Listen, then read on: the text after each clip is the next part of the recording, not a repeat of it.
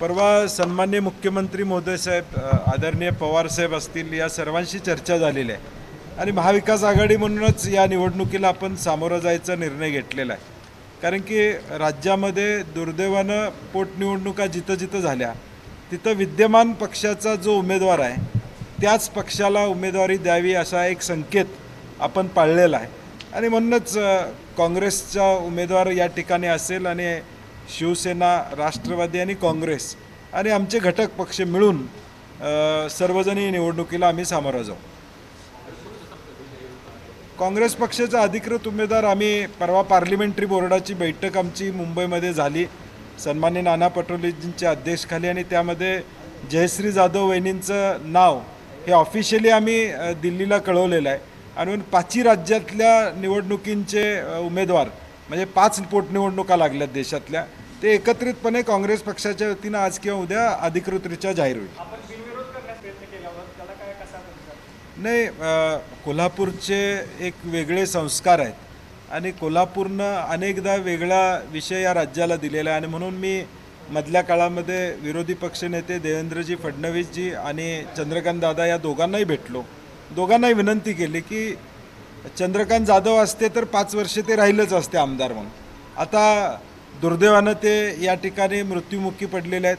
आणि म्हणून त्यांच्याच कुटुंबियातल्या भगिनींना त्या ठिकाणी द्यावं अशा पद्धतीची अपेक्षा आम्ही व्यक्त केली होती. कारण की दादानी एक स्टेटमेंट केलं होतं की त्या मूळच्या भाजपच्याच आहेत आणि त्यांनी आमच्याकडून उभा राहावं असं त्यांनी विनंती केली होती. आता तेवढं हे असेल तर करावं अशी आम्ही त्यांना विनंती केली होती.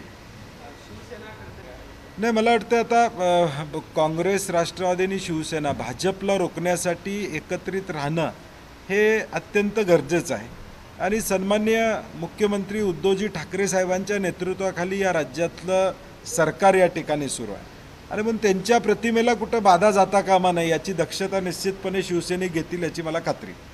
चार राज्यात झालेल्या निवडणुकांचा कोल्हापूर शहराचा इतिहास बघितला. तर शहराचा इतिहास हा वेगळा असतो. देशात काय घडतं याच्यापेक्षा कोल्हापूरकरांना काय हवं आहे हे या ठिकाणी महत्त्वाचं आहे. आणि एकोणीसला आपण बघितलेलं आहे की कोल्हापूरकरांनी काय निर्णय दिला आहे भाजपचा काय विषय फार इथं नाही आहे चर्चेत नाही आहे मुळात भाजपमधली खतखत आहे की आयात उमेदवार त्या ठिकाणी दिलेला आहे. आणि म्हणून या सगळ्या पार्श्वभूमीवर मला वाटतं आम्हाला निश्चितपणे खात्री आहे की काँग्रेसचा आणि महाविकास आघाडीचा काँग्रेस म्हणत नाही मी महाविकास आघाडीचा उमेदवार निश्चितपणे निवडून येईल.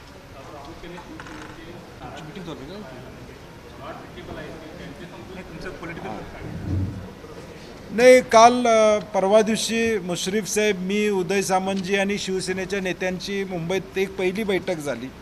परवा दिवशी मी राजेश क्षीरसागर उदय देवणे परत विजय देवणे परत संजय पवारजी अशी आमची बैठक झाली आणि त्यामध्ये मुख्यमंत्री महोदय जो निर्णय घेतील तो मान्य करायचं अशा पद्धतीचा निर्णय त्या ठिकाणी झालेला आहे. आणि तेव्हा मी मगाशी म्हणलं तसं उद्धव साहेबांच्या नेतृत्वाखाली आम्ही सगळेजण या ठिकाणी काम करतो आहे आणि सी एम साहेब जो निर्णय देतील तो आम्हा सगळ्यांना मान्य असणार आणि शिवसेनेलाही तो मान्य होईल. एबीपी माझा उघडा डोळे बघा नीट.